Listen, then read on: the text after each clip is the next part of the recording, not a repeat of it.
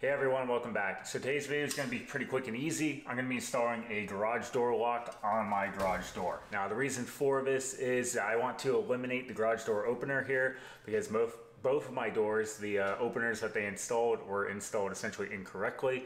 So I'm going to remove them.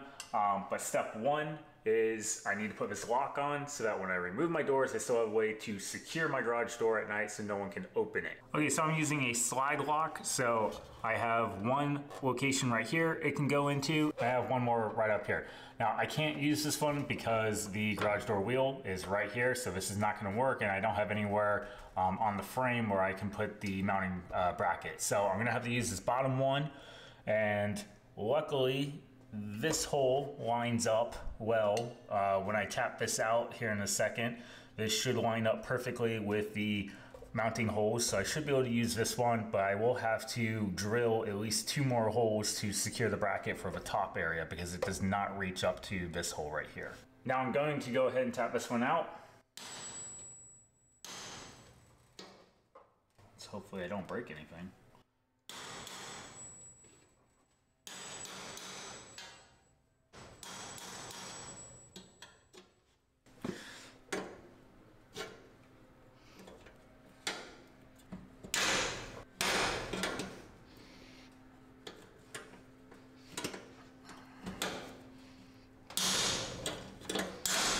Now that I have that stupid freaking thing out, which took way more work than expected, make sure this lines up properly. And it does. So I'm going to attempt to use this hole, put my uh, sheet metal screw in there to hold it in place initially, and then I can mark these, drill them, and then set my screws into the top ones um, I have four screws. I would like to use them all. So I'm probably gonna do is put the first one in here just to hold it in place for my initial mounting. And then I'll probably take it out and put it uh, and drill these two holes down the bottom as well. And then put my screws in there and just leave this hole blank.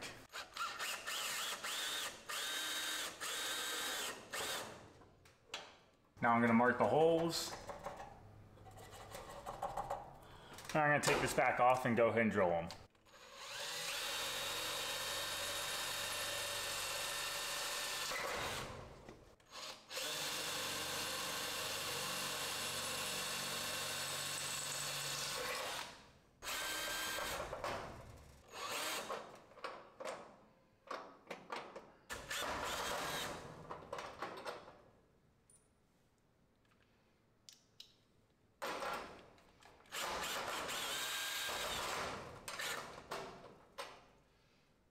Okay guys, so a little embarrassing. I drilled the holes, I went to secure it with the screws and the hole was just a little too big. So the screws wouldn't work. So luckily I had some other sheet metal screws on hand. These are actually for securing uh, metal roofing, but they'll do the job here.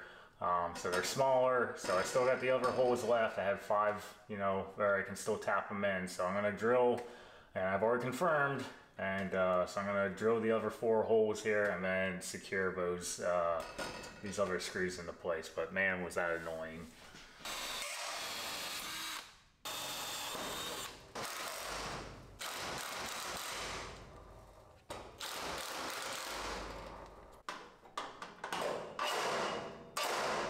So this did not go exactly according to plan, unfortunately. And what really annoys me here is that I originally intended to use these at first. Um, I had them out here in the garage, but then I went inside. I have an additional like tool closet inside and I checked some of the screws I had in there and I found um, the four bigger sheet metal screws. So I was like, oh, four pack, that'll work perfectly. So I went to use those and of course then I, I screwed it up by drilling the hole oh, slightly too big. But also what really annoys me is the pack that I bought, it came with four bolts and I don't know how you're supposed to use it because the only way you'd be able to secure this is to have access on the backside to be able to get the nut on and tighten it down. So um, maybe a different style door you can use this, but not on mine. So these were completely useless, which is why I had to go through this whole process. But really annoyed that I intended to use those to begin with because it's what I had on hand and it seemed easy and I didn't go with that from the start. Besides my little complication with installing the lock, this was incredibly simple and easy to do. So if you do not have a lock on your door, even if you have uh, garage door openers which apply that tension on it so that when it's down you cannot open it from the outside, you may still want to put a lock on just for an added sense of security, especially if you have valuables in the garage like expensive vehicles or just you know a lot of tools like what I have. Um, it's also really nice for that sense of security if you go on vacation. This way, there's just no possibility where the door is going to open because you've got that manual lock in place. Now this video is probably going to be part of a three-part series because next I do want to remove my current garage door openers um, and then final step once I have a little bit more money in the, the money to spend on it is I want to add a garage door opener which goes onto the end of the post and the reason for that is is that that will still give me uh, the ability to open the garage doors uh, electronically so I don't have to do it manually um, and it eliminates the whole center rail portion here because they will manually turn the post right there on the end rather than having this portion so I can raise all the rails up because right now the problem is these are not installed correctly. Alright, that's it for today's video. So if you like this, then please give me a thumbs up, click the subscribe button and the bell so you know when our next videos are coming out, and we'll see you next time on the DIY Grunt.